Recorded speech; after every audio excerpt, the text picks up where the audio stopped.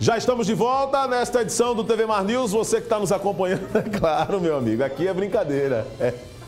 Vamos dar uma olhada no portal Gazeta Web, Alexandre Lino. Vamos lá? Vamos lá então, Max Mila Barroso, nosso Daniel, José Rodrigues, as principais notícias no portal mais completo de Alagoas, tá? O portal Gazeta Web, que está retransmitindo nesse exato momento a programação da TV Mar Canal 25, você observa aqui no canto superior direito, né? Já tem a programação da TV Mar, daqui a pouco vai entrando com a condição de delay o retorno do TV Mar News. Acompanhe, exatamente isso aqui, tá? Mas vamos aos destaques. Ataque a tiros deixa duas pessoas mortas em sítio na cidade de Quebrangulo, equipe da Polícia Civil abriu inquérito para investigar suspeita de homicídios. Está aqui a notícia também do dia que nós colocamos no bloco anterior. Paulo Henrique Amorim morre aos 77 anos, vítima de infarto em São Paulo. Né? Ainda as notícias são desencontradas porque o G1 tinha colocado que ele tinha morrido na manhã de hoje na Baixa... na, na, na... no Rio de Janeiro.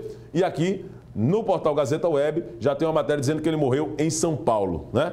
Como a sede da TV Record é concentrada, a maioria, principalmente a base, em São Paulo, acredito que a notícia concreta, verídica, é essa aqui, né, do portal Gazeta Web. Como ele estava lá, mesmo afastado do programa, Criança de, 40, de, de 4 anos é achada sozinha em casa e mãe acaba presa. Após mais de 48 horas de interdição, PRF libera trecho da BR-101. Está aqui então nas notícias do portal Gazeta Web. Homem é esfaqueado após briga e primo é apontado como suspeito. Quatro suspeitos de venda clandestina de iPhone são, seguem foragidos da operação de ontem, né? Operação Fruto Proibido. Né? A Operação Fruto Proibido. A polícia ainda, ainda busca pelo menos quatro pessoas apontadas por envolvimento nessa, nessa organização criminosa que o Ministério Público Estadual deflagrou ontem, a Operação Fruto Proibido. Bom, é, a, a temporada também ela traz muita preocupação para os moradores e pessoas que têm em sua casa situações relacionadas aos cuidados, principalmente com o aparecimento nessa época do ano com o número de escorpiões. Nós vamos trazer agora essa matéria, até porque é uma matéria também que envolve interesse não só da sociedade, mas os cuidados com as crianças. Nesse material da TV Mar Canal 25 e mais uma reportagem na tela para você. A CESAL, Secretaria de Estado da Saúde, está preocupada com o momento do inverno, onde a incidência de escorpiões tem causado muitos acidentes. Vamos falar desse problema do escorpião, porque no inverno parece-me que a incidência tem aumentado, não é isso? Na verdade, Fernando, é, o que ocorre é que, em razão de, é, das chuvas, né, alguns locais eles podem sofrer alagamentos e, com isso, os escorpiões eles se sentem acuados e saem das suas tocas, dos seus locais de abrigo, né, é, fugindo exatamente dessa água e nessa saída pode ocorrer exatamente os acidentes. Os acidentes ocorrem é, com um número que chama atenção aqui, olha, são 9.619 casos só no ano passado. Isso, ah, o acidente com o escorpião é um dos acidentes, né, ou, ou é um dos agravos mais frequentes que nós temos, ah, dentre as, os, os, agravos que a gente monitora, tá? e isso traz uma preocupação, né? embora ah, os acidentes com escorpiões eles não tenham, né? na grande maioria das vezes, consequências mais graves. Existe um desconforto grande, isso é óbvio, né, por conta da picada, é uma picada bastante dolorosa, mas que se o indivíduo procura o serviço de saúde, ele tem, é, e sendo devidamente orientado, ele tem, na grande maioria das vezes, é, um bom prognóstico. Qual a reação e as providências mais urgentes?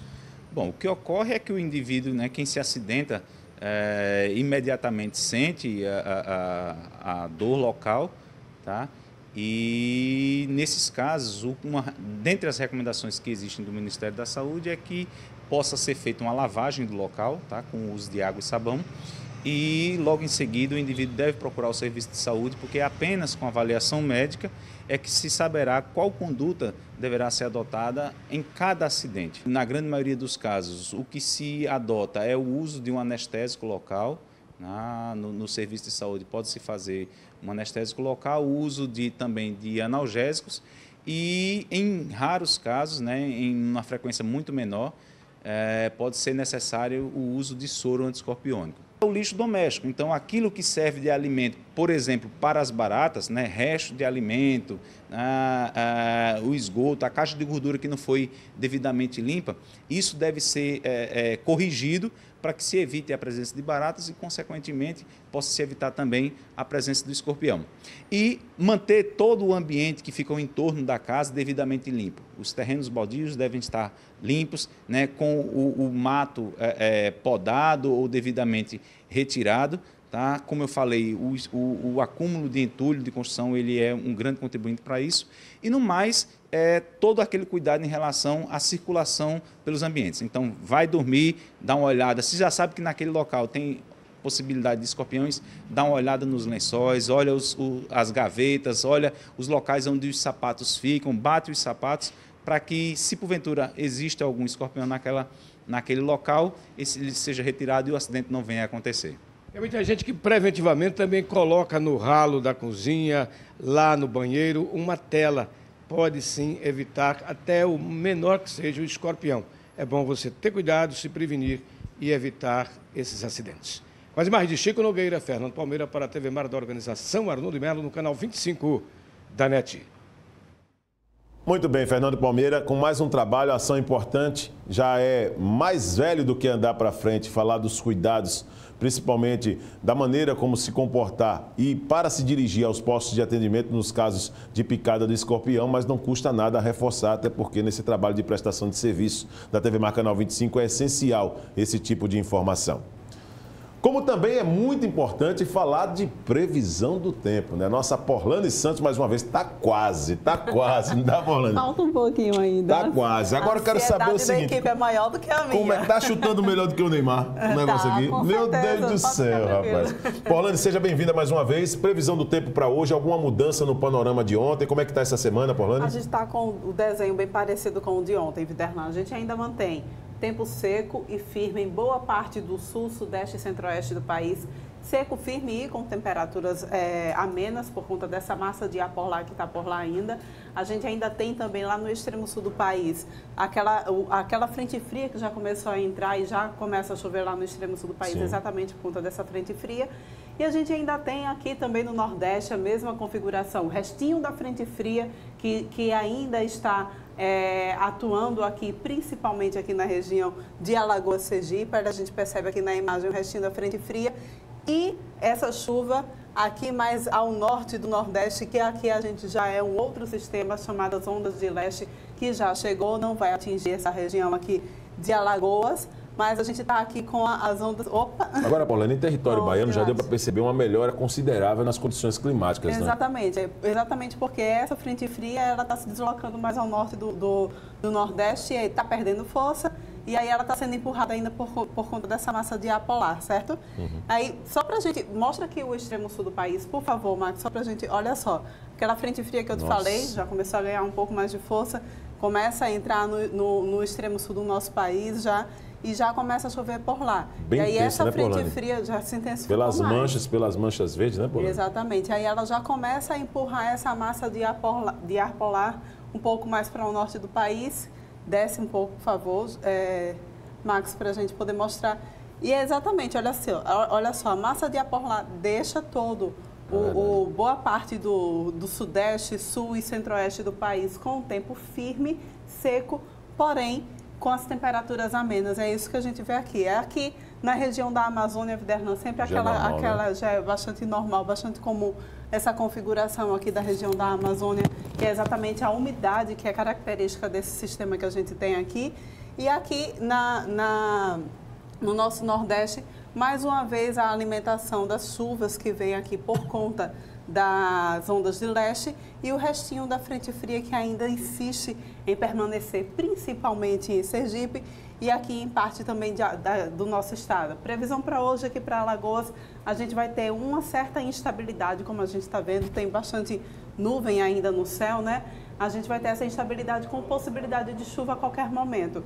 E aí vem aquelas pancadas de chuva, uma pancada um pouco mais forte, Sim. depois dá uma aliviada, o tempo abre um pouquinho e a gente vai ficar dessa forma durante todo o dia é, em todo o nosso estado. As temperaturas máximas chegam a 28 graus aqui na região do litoral e 30 graus lá na região do Sertão, Sertão de São Francisco. O que é, uma, é um, um ponto que dá para a gente destacar, porque está chovendo, mas começou a esquentar um pouquinho mais. Já percebeu? É, começou a, a esquentar. estava com as temperaturas mais Não, amenas, Exatamente. Né? Ontem nós parecíamos, no horário de meio-dia, quando deixava aqui a TV Marca 925, parecia que eu estava no caldeirão do inferno. Sinceramente, de tão quente que estava. Exatamente, porque a gente já está, no, já está na, entrando daqui a pouco, já na segunda quinzena de julho, e aí a nossa quadra chuvosa segue de fato até agosto. Então, realmente, o nosso inverno já está cessando por aqui no nosso estado. Polane, muito obrigado mais uma vez pela sua participação. Dá um abraço aqui, ser parceiro. Obrigado, viu? Obrigada. Nossa Polane Santos amanhã estará de volta aqui com mais uma participação, trazendo todos os detalhes da previsão do tempo, hein? Brincadeira, tá? Realmente por dentro e muito afiada.